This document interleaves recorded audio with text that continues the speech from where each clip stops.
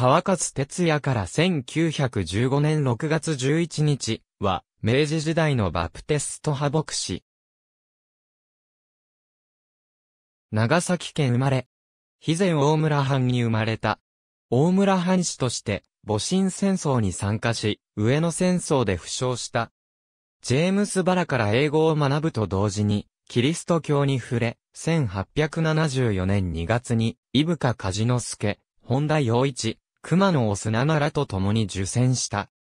翌年より、ネイサン・ブラウンの下で聖書を学ぶうちに、心霊の意味を知り、1877年5月に、心霊を受けて、バプテスト教会に入った。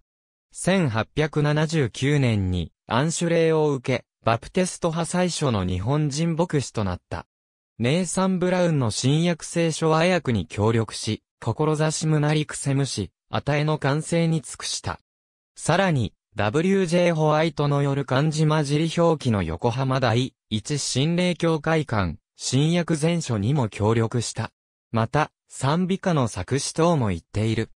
1892年に南部バプテストの九州伝道が始まると、小倉、福岡に赴き、1894年に正式に移籍して、九州、山口の伝道に貢献した。